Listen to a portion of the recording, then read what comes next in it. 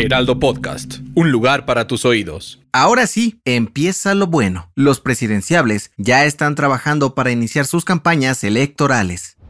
Esto es Primera Plana de El Heraldo de México.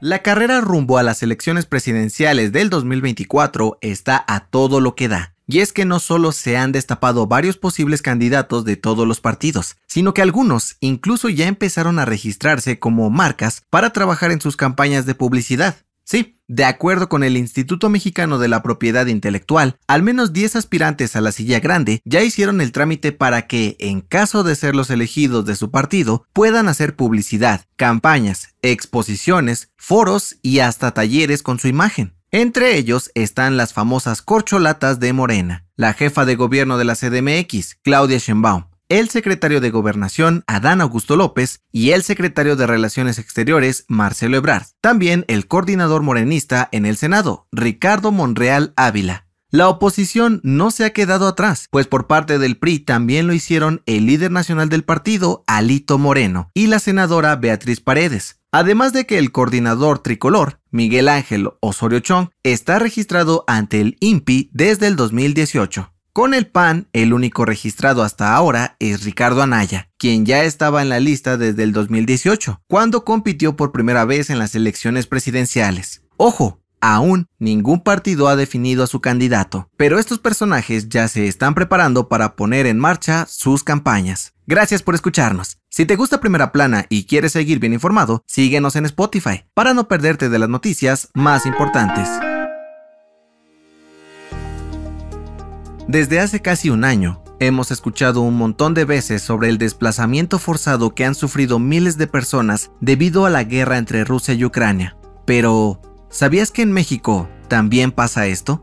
Sí, hay cientos de personas que han sido obligadas a abandonar sus casas, ciudades y estados debido a la violencia que es generada por el crimen organizado, especialmente en lugares como Guerrero, Chiapas, Jalisco y Michoacán.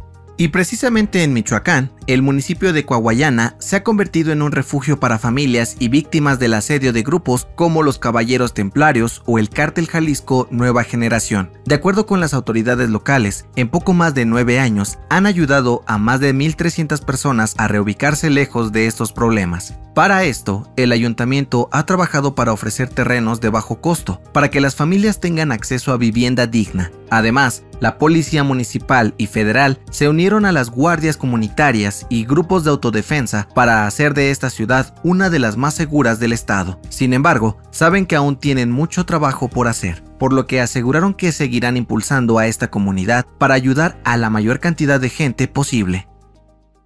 En otras noticias, lo que faltaba, la Secretaría del Medio Ambiente de la Ciudad de México dio a conocer que están analizando sustituir el agüehuete de Paseo de la Reforma en primavera, si no crece adecuadamente. La dependencia aseguró que el árbol aún muestra signos de vida, pero no ha brotado como se esperaba. En noticias internacionales, este sábado 21 de enero se registró un tiroteo en la ciudad de Monterrey Park, en California, Estados Unidos, durante las celebraciones del Año Nuevo Chino. De acuerdo con las autoridades, el incidente dejó un saldo de 10 personas muertas y 10 heridos.